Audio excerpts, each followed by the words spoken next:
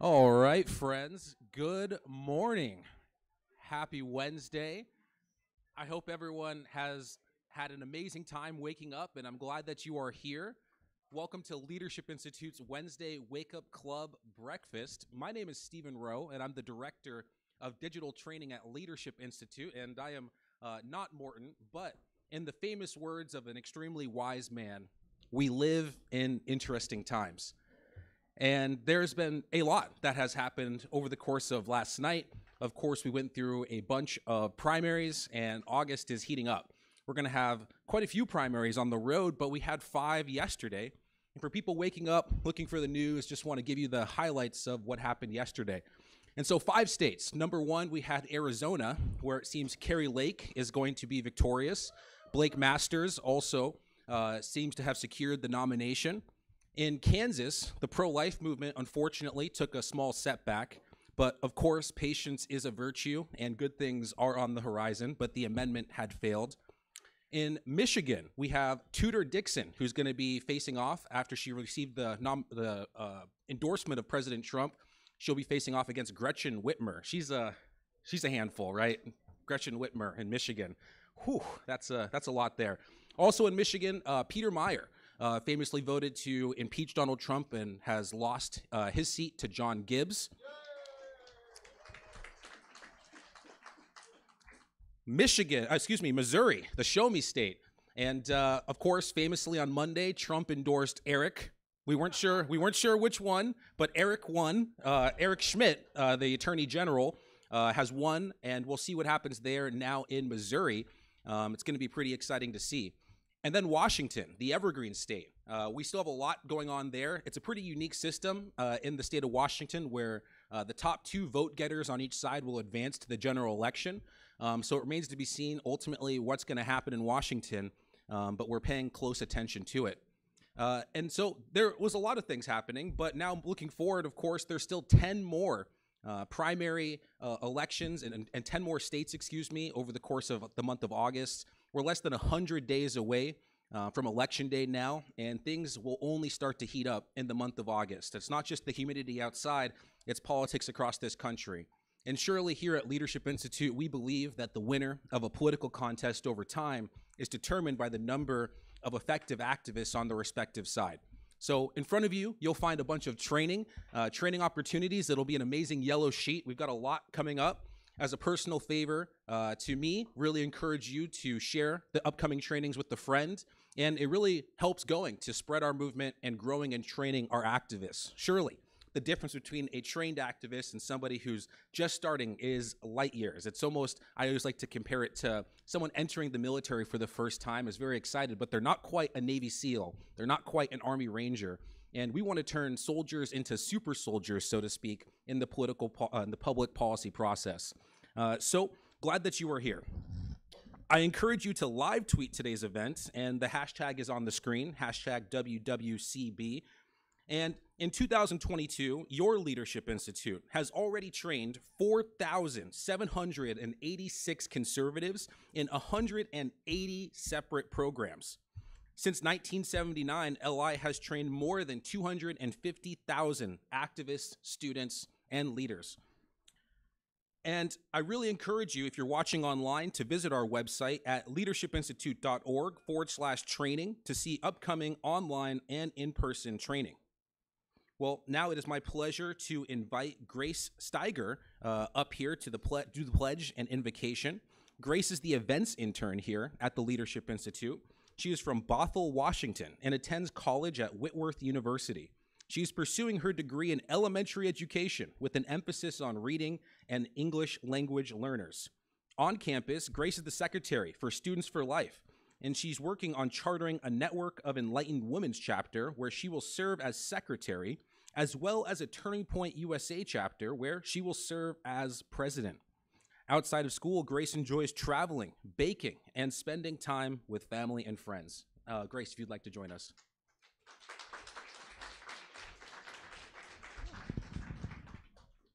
All right, if everyone would bow their heads, please. Dear Lord, thank you for this day and for bringing everyone here safely this morning.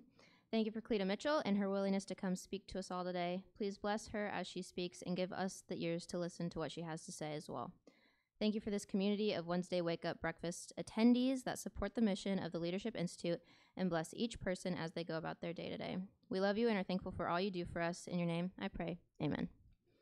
And then, if, any, if everyone could please rise. All right.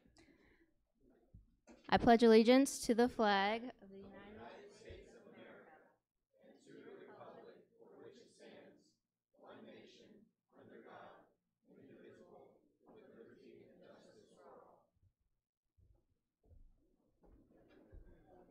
Thank you, Grace.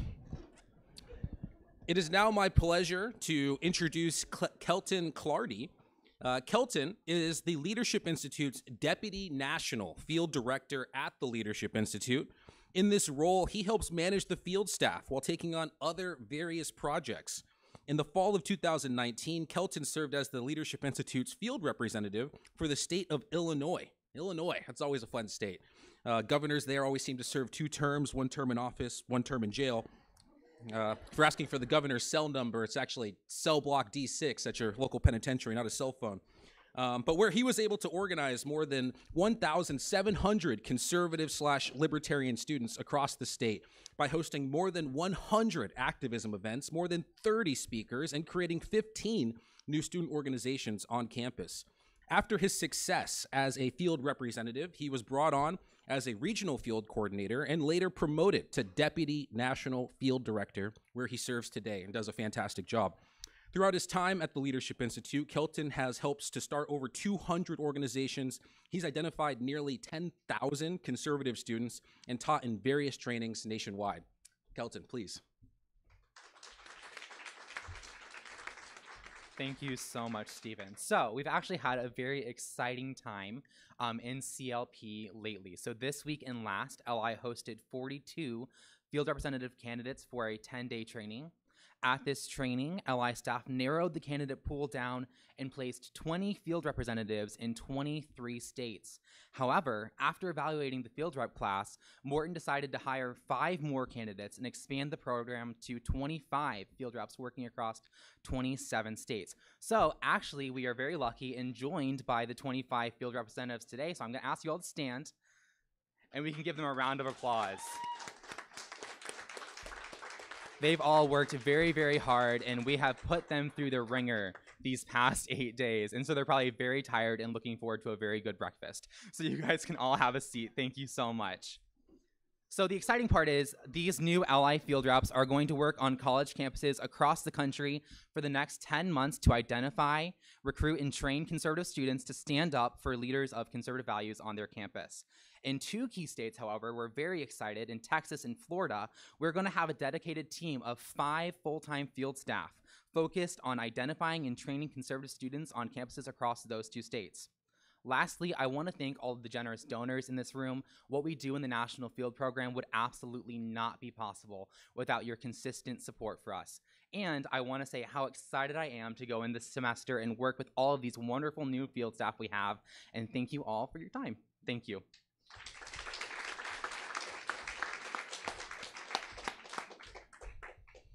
Amazing and, and necessary work. Surely, we realize the left, students, administrators, faculty are not sharing a conservative message online or in person or in a classroom.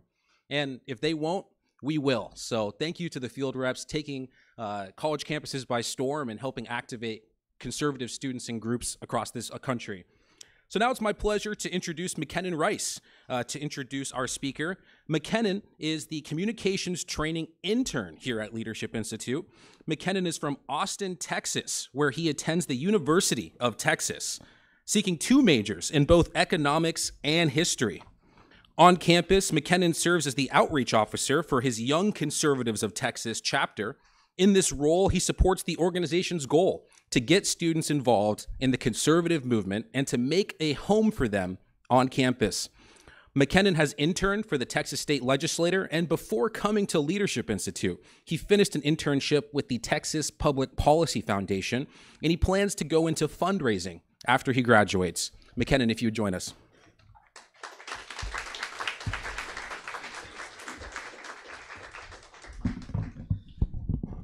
Morning, everybody. It is my pleasure to introduce all of y'all to Cleta Mitchell, our speaker.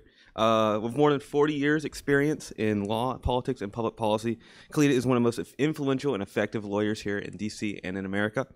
Uh, Cleta is an attorney licensed in both the District of Columbia and in Oklahoma, where she went to school at OU, the University of Oklahoma, and is a Longhorn. She said she wouldn't hold it against me, so I won't hold against her that she's a Sooner. She also went there to get her law degree, and she was a member of the Oklahoma House of Representatives from Lincolnshire, uh, 1976 to 1984, where she uh, chaired both the House Appropriations Committee and the Budget Committee, which is pretty incredible. Went on to represent numerous campaigns, candidates, and members of Congress. Uh, she then served as counsel for the National Rifle Association in a Supreme Court case in 2002. Mitchell served on many boards and councils, but most importantly, the advisory council to the American Bar Association Standing Committee on Election Law and its advisor to the American Law Institute, the election laws project entitled Principles of Law Election or Election Law Dispute Resolution. In 2016, she was elected to be a member in the American Law Institute. In the past, she's been a chairman of the American Conservative Union Foundation and has served as the president of the Republican National Lawyers Association. Uh, she is a senior level uh, legal fellow at CPI for election integrity, and she has a long history of fighting for election integrity, including uh, she has fought against Obama's IRS uh, when it attacked Tea Party members in early 2010s, and she was recently a volunteer on Trump's legal team in 2020 in Georgia. Um, she has written a number of journals and has recently written a book uh, about lobbying compliance titled uh, The Lobbying Compliance Handbook. And we share a birthday on September 16th. Everyone, Cleta Mitchell.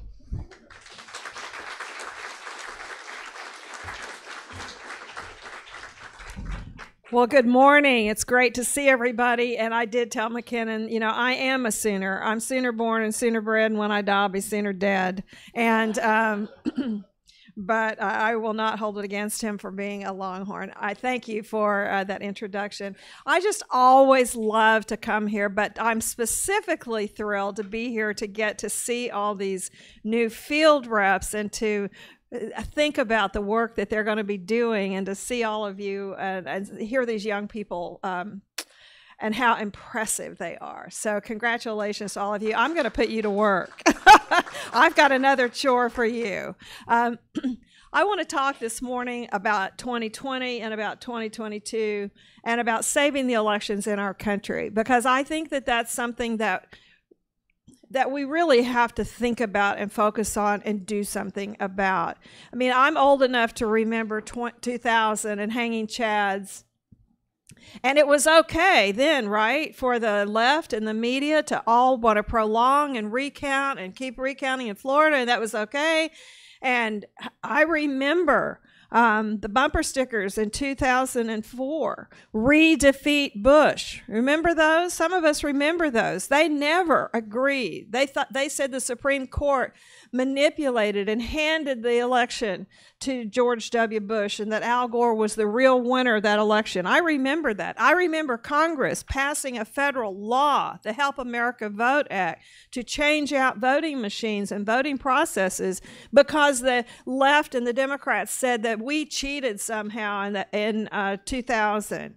But that was all okay, right? It's okay if they're the ones that say that. I remember in 2016, um, the absolute meltdown of the left. And remember the Russia collusion hoax that there are literally millions of moronic Democrats who still will tell you that Trump only won because of Russian collusion, which was a complete hoax, which cost us as taxpayers hundreds of millions of dollars, and which the media fixated on. People won Pulitzer Prizes for writing about something that was absolutely flagrantly false.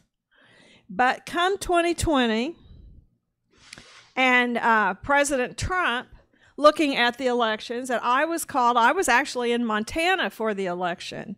Um, I had represented uh, Senator Daines and the Republican Party of Montana, and so I went out there for Election Day because I've run Election Day operations and worked on Election Day uh, activities and war rooms and all for many, many years. I was in my car the day after the election, getting you know, putting in the coordinates to get back to the airport in Bozeman after a very wonderful night in Montana where Republicans won everything. It was 100% red, except for the court system. I got to tell you, the court system in Montana, for some unknown reason, is so liberal that you cannot get a fair shake if you're a conservative or Republican going to court in Montana on anything related to elections. But I was literally putting in the coordinates to go back to North Carolina, where I now live and I got a call from Mark Meadows saying, Where are you? I said, Well, I'm in Bozeman, Montana. Where are you? And he said, uh, Can you go to Georgia? He said, I want to I want someone there that I can trust to see what's going on there. And I, so I changed my flight, literally went to the airport, changed my flight, flew into Atlanta, got there, and started looking at what had happened in the election. And when I got there, and for the first couple of several days, Trump was ahead. But that kept coming down, kept coming down, kept coming down. Literally a week after the election is when Biden went ahead. Can you believe that? I mean, it, that we didn't know on election night. So, but I started looking at the issues of the election and how it was conducted. I'm an election lawyer. I I know that if you want to challenge an election, you cannot just go in and say, we think this was wrong or that was wrong. You have to be able to go in and say, we think this illegal, this vote was illegal, this vote was illegal. You have to know and you have to document and you have to include that uh, in any kind of contest. And there is a code, an election code in every state that allows for uh, contests, election contests and sets forth what the provisions are for challenging the outcome of an election. There's a timetable and there's a process, and there are the statutory grounds laid out. And so we began to, we had a group of volunteers. We didn't have any money. We didn't have, I mean, the RNC was raising money hand over fist for uh, fighting for the president and all. We didn't have any of that money. Now, ultimately, the lawyers in Georgia, at least it got them to pay those guys. I didn't get paid anything, but um, but we had our little team. We called our volunteer team. People, you know, we had volunteers who came, and there were about there were seven of us. We called ourselves the Team Deplorables, um, and and we started. We had people who were experts that we found who came in and helped us look at the available data from uh, various government lists, from the post office, the voter registration rolls, the and we started looking. And let me just give you this one example. We, we identified over 30 categories of illegal votes ca- because people had voted. Well, I'll give you this. The final, final uh, margin between uh, President Trump and Joe Biden in Georgia, and it was the third number, by the way, the third time. They never could come up with the same number a second time, much less three times. And the, every time they did any kind of recount. They didn't ever do a real recount, but because um, they just ran, would run it through the machines. But they had counties in Georgia that literally could not replicate the results that, that they already turned in. And the Secretary of State's uh, the Secretary of State told them, "Well, just turn in whatever, and we'll decide which one we're going to pick." I'm not making this up. That's what they said. We now, when you have an election you're supposed to be able to replicate the results no matter how many times you do it, right? They couldn't, there were counties in Georgia that could not do that. They could not even get the machines and the calculations to come out. They couldn't, they could not certify a second time. And the and so the Secretary of State's response was, "Well, just send in a number and we'll decide which one to use." Great way to conduct an election, right? But the final actual tally was 11,779 votes difference between President Trump and Joe Biden. We found 18,325 votes that were cast from registrations that were actually vacant lots. Now, that's not a real vote. That's not a real person. And we had another 904 uh, ballots cast from people who were registered to vote at post office boxes. We had nearly, we had over, we estimated in our lawsuit about 40,000 people who voted illegally because they had moved out of their county more than 30 days before the election. And the law in Georgia is that you cannot go back and vote in your old county. You have to re register and vote in your new county. And that was in a lawsuit. We put all this together. We filed an election contest in state court in Fulton County, Georgia, because we were required by law that that was the venue in which we had to file.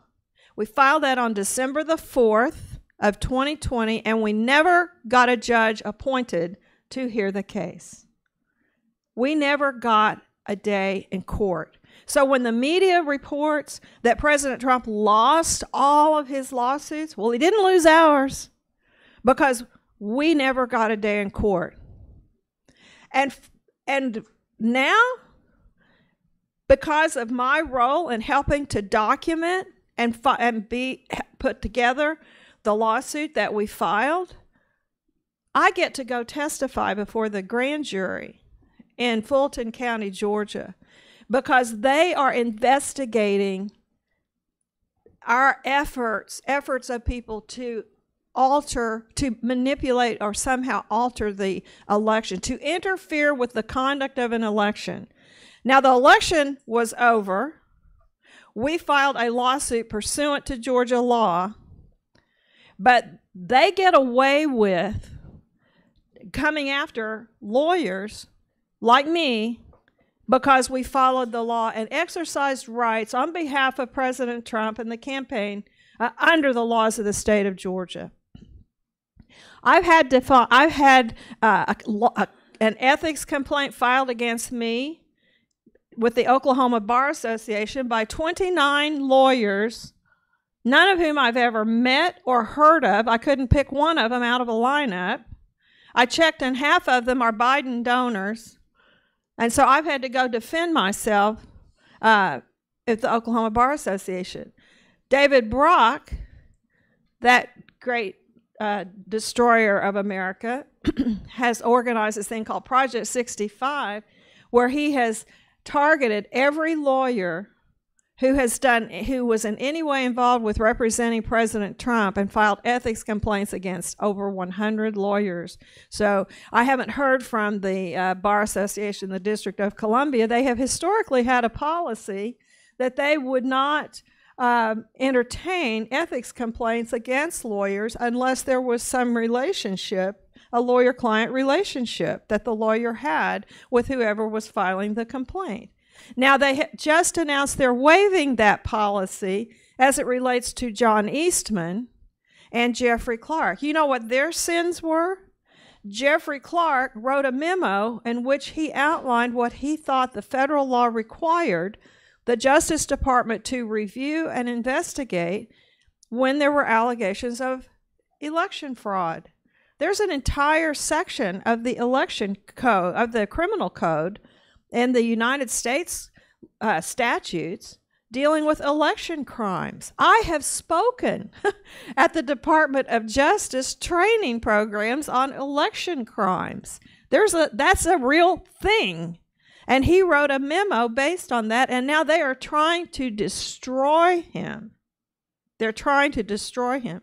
Dr. John Eastman, who is one of the most brilliant constitutional lawyers uh, in the country, but he's conservative for his entire career. He has been putting together, trying to find and hold together a network of conservative law professors and conservative political science professors.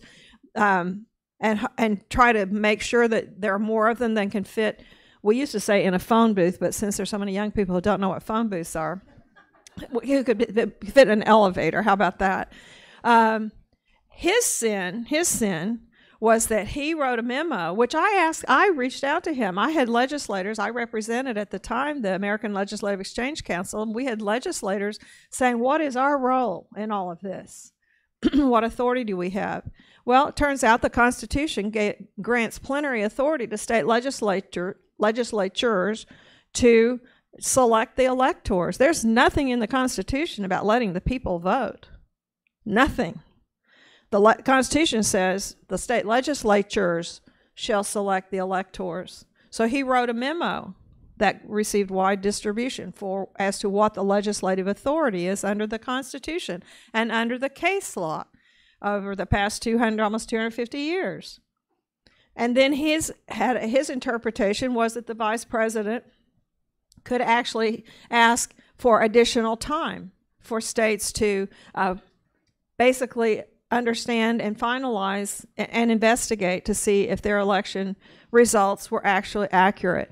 And for that, he was he lost his job. He retired, took early retirement from the position he uh, had uh, he held at Chapman University uh, Law School as chair of the Constitutional Law Center. Um, moved to Santa Fe, where people he his home is on a um, in, in a little re, re, more remote area on a dirt road, and so these lefties keep putting spikes in his driveway, so that he's he and his wife have lost you know four sets of tires, um, and they drive by his house all hours of the day and night, you know, screaming at him, and they painted the bridges near him, and the police will help him not at all because they're, they're, he's in Santa Fe, New Mexico. I said, well, you couldn't have picked a more liberal place to go, except maybe Aspen or or or Austin, um, but and you know because of my role with the president, um, the that Lincoln Project came after me, came after our law firm, and uh, started having corporate corporations calling uh, their partner uh, at our law firm, who was their relationship partner, saying, telling them that if they didn't fire me, that the corporation would have to terminate my law firm. And I thought, you know, I don't want to deal with this anymore. So I left, but I joined the Conservative Partnership Institute, which is a whole lot better than being at a big fancy law firm, I can tell you that. But my point in telling you all of this is to say that the Democrats and the left are intent upon punishing anyone who believes that there were problems in the 2020 election. And we used to have a state U.S. senator uh, in, uh, from Oklahoma in the early 60s who, um, who he, he, started out okay, became a real lefty, unfortunately, over time. But he used to, he was a great speaker. Fred Harris, if Morton were here, he would remember Fred Harris. And uh, he used to give, uh, he, some of the things, one of the things he used to always say in speeches is there are people in America who think that if you just give poor people enough advice, they'll quit it. They'll just quit being poor. And that's the way the media is about those of us who say there were problems in the 2020 election. They think if they just say over and over and over again that there was nothing to see, nothing was wrong, everything was fine, it was the big lie. They think that somehow that if they say that enough that we'll start believing them. Well, I want to tell you something. It isn't a lie. There were problems in Georgia. We do not know with certainty. The president gets mad at me for saying that. You know which president I'm talking about, right? Uh, because he wants me to say, you know, I, that he won by 400,000 votes. And I keep telling him, we don't know who won Georgia because there are more illegal votes included in the certified results than the margin of victory between President Trump and Joe Biden. And you know what? That's true for Arizona. It's true for Wisconsin. It's true for Pennsylvania. It's probably true for Michigan and Nevada. And, and since 2020, we have, excuse me, documented. You know, the media only in Arizona, the Arizona audit, they only printed and told the story of one small part of that audit report, which was the hand count of the paper ballots. And that, that showed that Biden actually, in Maricopa County, actually picked up four or five or 96 votes or something. So that was their big headline. Arizona audit shows Biden gained votes.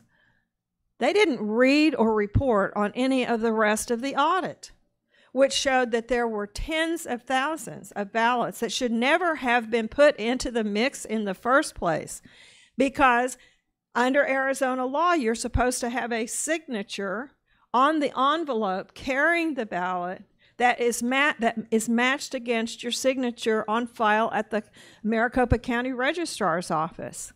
There were more than 10,000 ballots that either had no signature at all, a straight line, or even under the most uh, expansive view of verification, did not qualify as a signature. The margin in Arizona between President Trump and Joe Biden was 10,457 votes. And there were more than 10,457 ballots that should never have been included in the count in the first place. In Wisconsin, in Wisconsin, which was a real hub of where the Mark Zuckerberg's nearly half billion dollars, four hundred million dollars that one man and his wife put into these two C, 501c3s that was poured into election offices, turning election offices into Democratic turnout machines. And nowhere was that more pronounced than in Wisconsin, where you had five Democratic mayors. And in Wisconsin, the elections are run by municipalities, municipal clerks, not the county. And you had five towns that were heavily Democratic, Democratic mayors who got together, did a plan for using uh, nearly $10 million of uh, Mark Zuckerberg money to turn those local offices into Democratic turnout machines. The margin in Wisconsin, the final margin was 20,682 votes between difference between President Trump and Joe Biden. There was an analysis done but I mean, I could go on with about Wisconsin for hours. There was a there was a an analysis done by an organization in Wisconsin that's not a particularly pro-Trump entity. In fact, the guy who runs it is a never Trumper. But their conclusion was that there are more illegal votes included in the certified total in Wisconsin than the margin of difference. They estimated that the addition of ballot drop boxes generated a roughly 20,000 additional votes for Joe Biden and none for President Trump. The margin was 20,682. So, why do I tell you all this? Because you're not going to read that anywhere unless I find the time to sit down and write a book about it. Because it's, according to the media, it's the big lie. It's the big lie. But you know what isn't a lie? What isn't a lie are the facts, and the facts show that there were problems in the election process. So, what are we going to do about it? Because I am not somebody who will sit around and whine. I'm not somebody who ever lets a, who lets people get by with complaining without trying to fix things. So, what I've done uh, at the Conservative Partnership Institute is to form the Election Integrity Network.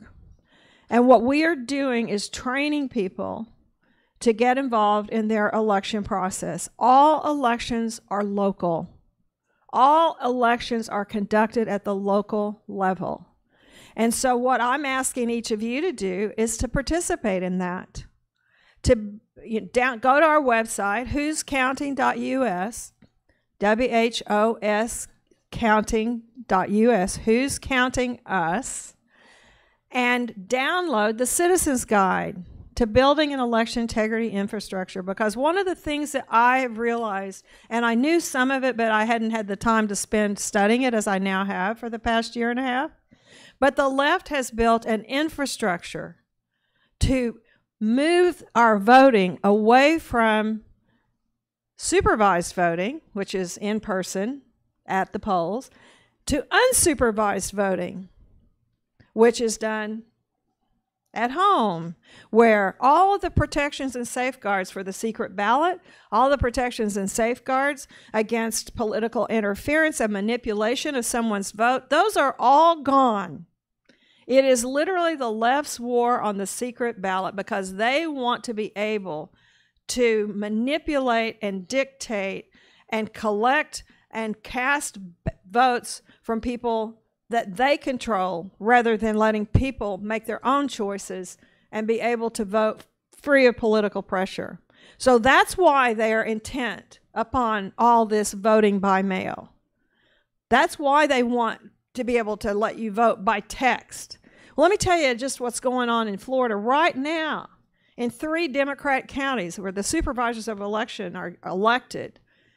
And they're all Democrats Broward, Palm Beach County, you know, other counties in that area. And they've sent out ballots. They started sending out ballots the 1st of July. And these Democrat supervisors are trying to encourage people to vote by mail by shrinking the number of polling places to try to make encourage people to vote by mail. And guess what? They put the wrong races on some of the ballots. They they and they've already gone out, been voted, and we estimated last night there are about 8,500 ballots that have already come back in that have been mixed in with all the other ballots. And what do you? How do you unscramble that egg? And because they because they didn't in Orange County, which is Orlando, they left off the school board races in some on some of the ballots. What do you do about that? And those ballots are already back in the mix. So what we're and you know how we know about this? Because we have formed local task forces of citizens who are watching every day and they're the ones who have identified this. And they and these are the same supervisors that will not allow the observers, even though the statute says that they're supposed to be able to observe all the processes of voting, that they'll only let them watch 30 minutes a day in one county, an hour a day in another county, the verification of signatures on absentee ballots. So, what I am telling you is the left has spent the last decade, and we estimate nearly $12 billion with a B, to build an infrastructure in the election system to support unsupervised voting, to have all of these uh, left wing entities that file lawsuits. They filed over 200 suits in 2019 and to, in 2020 to challenge and upend the election codes all over the country, the laws enacted by the legislature. And they get friendly judges and collusive lawsuits to get rid of uh, protections, elections uh, provisions to protect whether it was senior citizens or uh, to protect against uh, any wide variety of, of, of election chicanery. And if we don't get involved, if we don't reclaim our elections, guess what? We've lost our country. The Declaration of Independence says, in the first paragraph, governments derive their just powers from the consent of the governed.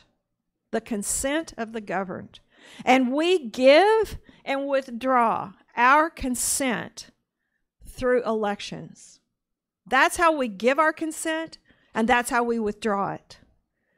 And they want a system where no matter what craziness they impose upon us, we cannot withdraw our consent because they have manipulated the outcome of the election. And I'll close with this one thing that you need to be aware of. They're now they're going to do they're trying to do with our tax dollars what was done in 2020 with Zuckerbucks. Biden issued an executive order in March of 2021 ordering every federal agency 600 agencies to develop their voter registration and turnout plans. Now, we those were supposed to be submitted last September to the White House, where Susan Rice is overseeing the program, and they are supposed to be registering. They're supposed to be telling the president and the White House what they're doing to register voters, to create what they call the new American majority, which is young people, people of color, uh, unmarried women, uh, low income people. They consider that to be the new American majority. Not my language, that's their language. And they want to then have use our tax dollars to register these people so that when you apply for a student loan, here's your voter registration. Will you apply for food stamps? Department of Agriculture registers you to vote. And then they will give grants of our tax dollars to approved entities, approved entities to, entities to help educate all these newly registered voters. What do you think they're going to educate them to do? So That's what's happening now. There's a lot going on. The left is intent. The media. I get. I yesterday was a, red letter day. I was attacked by Politico and NPR in the same day because they cannot stand the fact that we are doing something to stop all of this. That we are calling out the left, we're calling out the Democrats, and we are organizing and training and deploying people to become involved in the election process. So I call on every one of you to think what you can do in the election process. Like I say, visit our website. We're going to have a big push for people to become poll watchers and poll workers, uh, become part of the election process, and to be very intent and keen upon becoming part of a local task force to watch your local election office and officials. Because if you're not there, Guess who is there? The left. They're there. They're there. In Loudoun County, when they formed an election task, integrity task force in Loudoun County in 2021, and they started going to the election board meetings, just like they've been going, parents started going to school board meetings, they go to the election board meetings. What's the first thing? They sit down, and what do they hear? From the League of Women Voters, the Plague of Women Voters, League of Women Vipers, you pick. Um, they looked and said to our conservative citizens, What are you doing here? What are you doing here? So I'll stop. Uh, I, I think I've gone over a bit. So if you have questions, I'm happy to uh, answer your questions, but we need you to get involved. Thank you.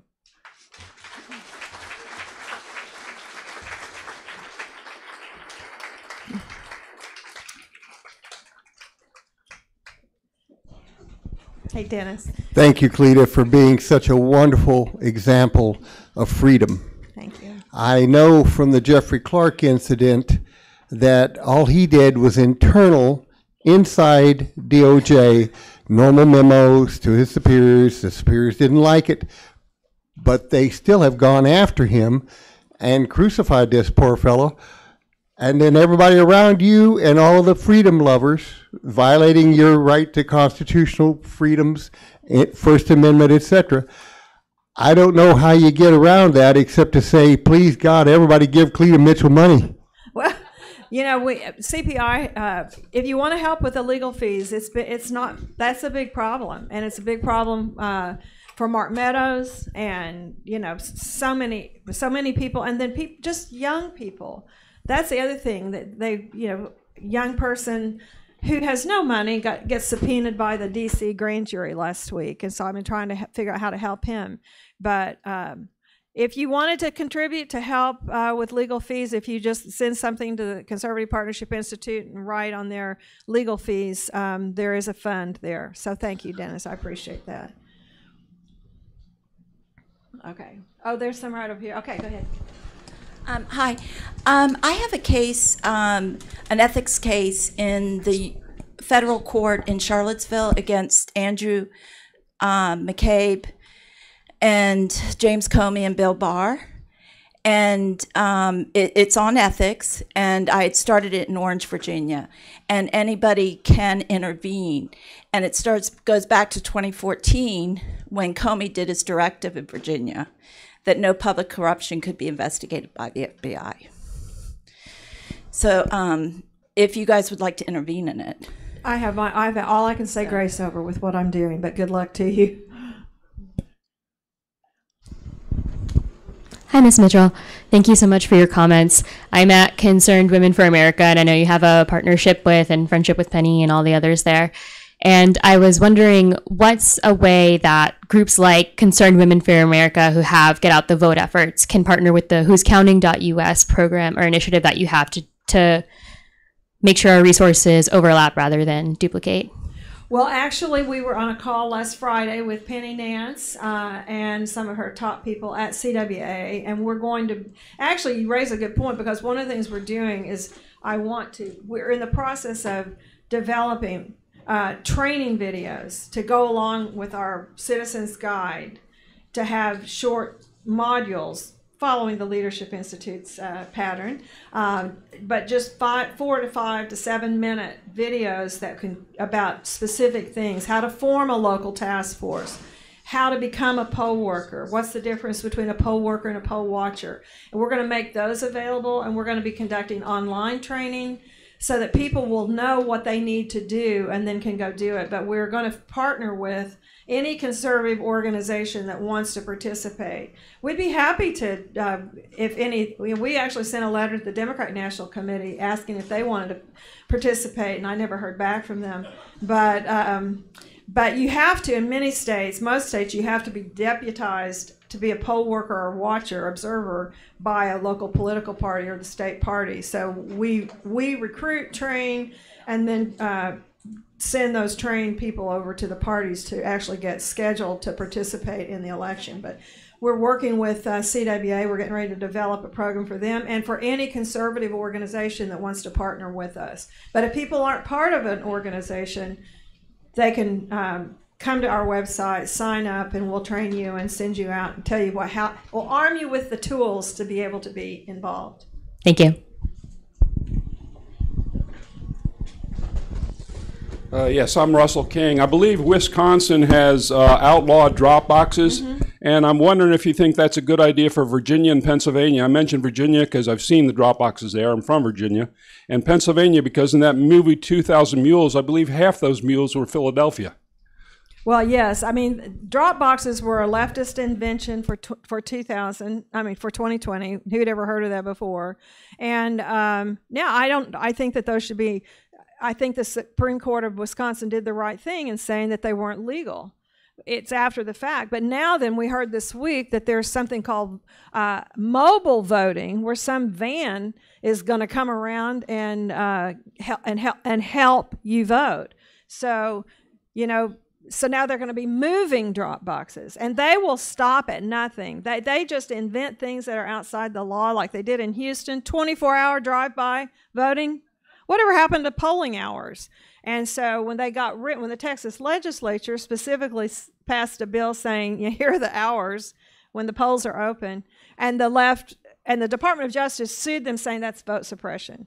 So no those kinds of things we need to get rid of. And virginia virginia is a problem because they, you know, this the Democrat legislature and the Democrat governor basically got rid of every uh, every protection and the Virginia election laws, and they've even this now this time this fall there'll be same day registration, which is a big big problem, and. Um, so we have to hopefully next year when the uh, senate is up in virginia perhaps a republican majority will be elected that can then reinstate some of the election safeguards that the, that the democrats have eliminated. But it's a big problem big problem. But the only way that the Republicans won, I believe, in, two in 2021 was because of the thousands of people who got involved in Virginia to be poll watchers and poll workers and to be there and watching everything that was happening. And the things that they caught in advance in Fairfax County and Richmond and Loudoun County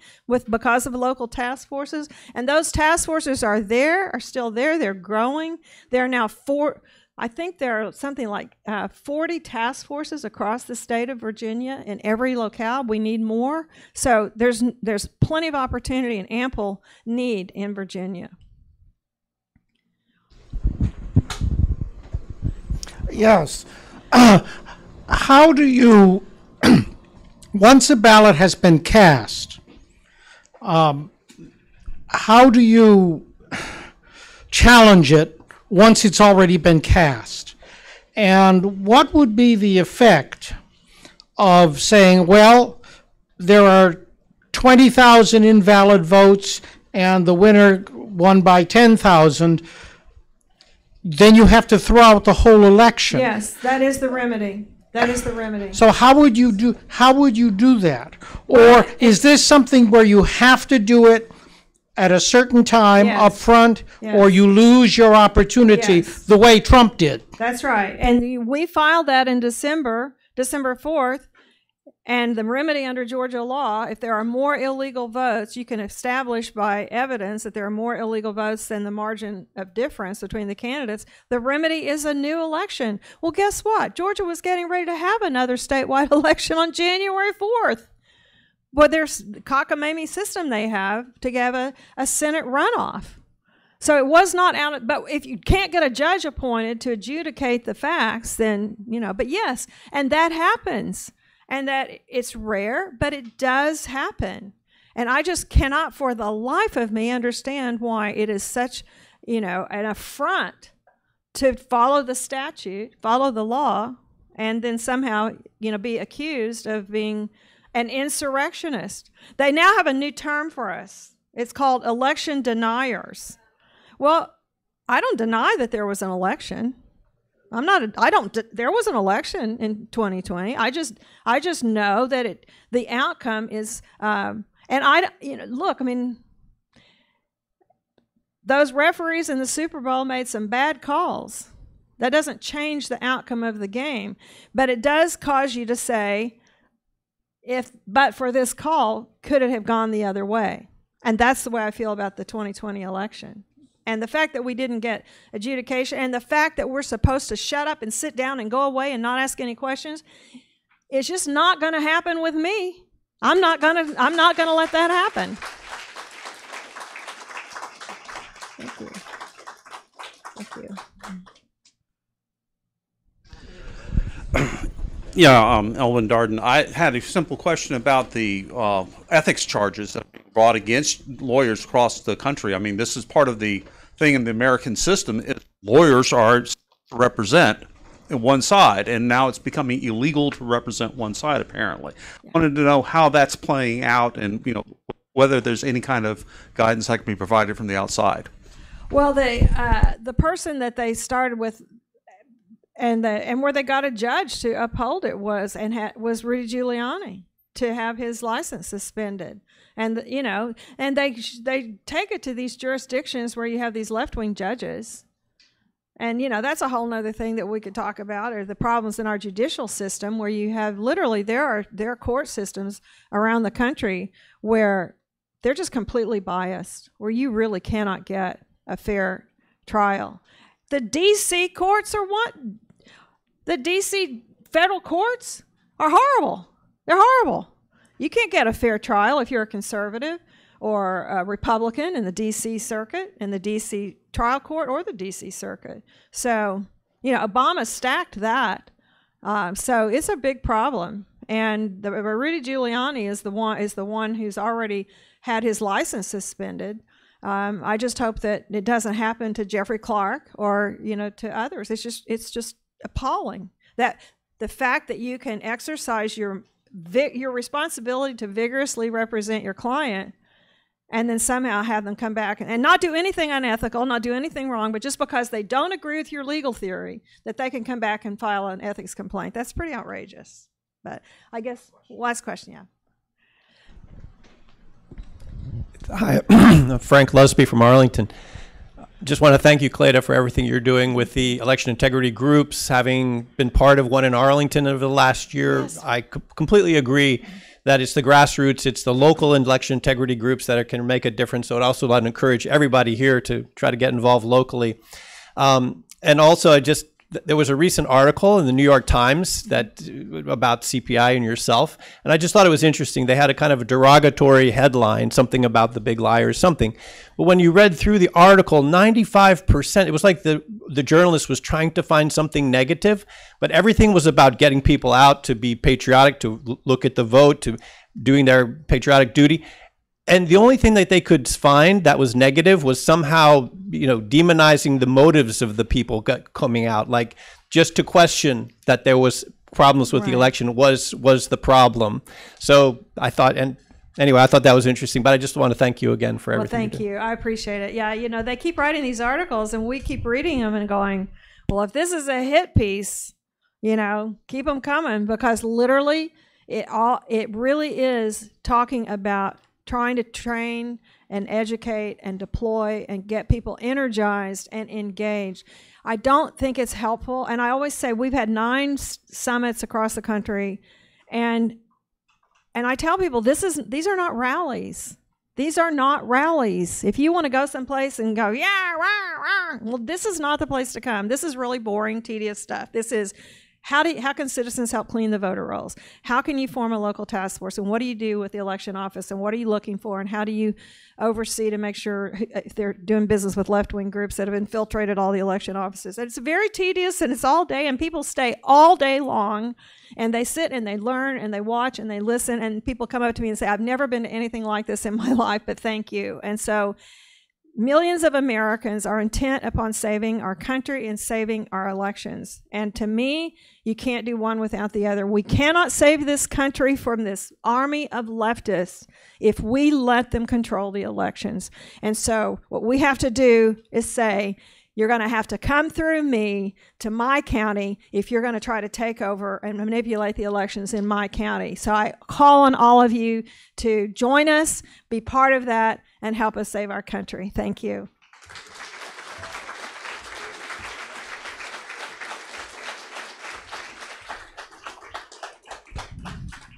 Thank you so much uh, for being here and for presenting on such an important topic. It's uh, my pleasure on behalf of Morton and the Leadership Institute to present you an Adam Smith scarf for presenting here today.